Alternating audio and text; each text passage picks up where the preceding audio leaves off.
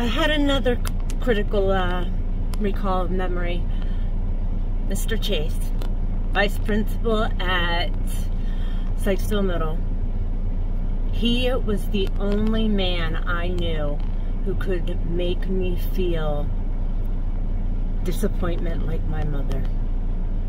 And I remember that day acutely. It was the day I called Mrs. Ader bitch.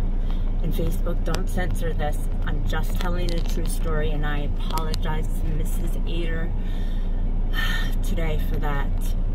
She was my ELA teacher. I don't know why I called you a bitch, and I apologize wholeheartedly for that. You were a young teacher, new, and I was angry at you for something, and I all the things you must have put up with. Oh, that's why I'm an elementary school girlfriend.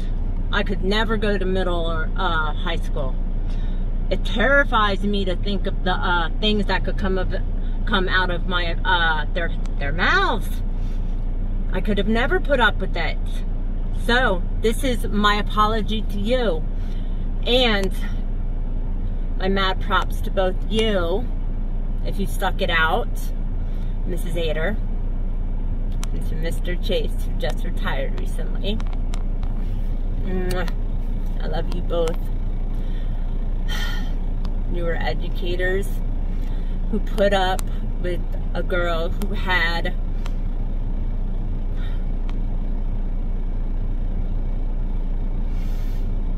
a lot of problems. She didn't have a lot of people to talk to. Really wanted someone to hear her. And they heard her too late. And I am so sorry that you guys had to be the ones to experience that outburst.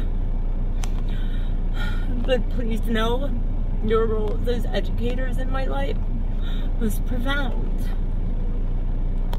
And that's what I'm going to try and impress upon in these videos. That my life has been very difficult and I chose education for a reason.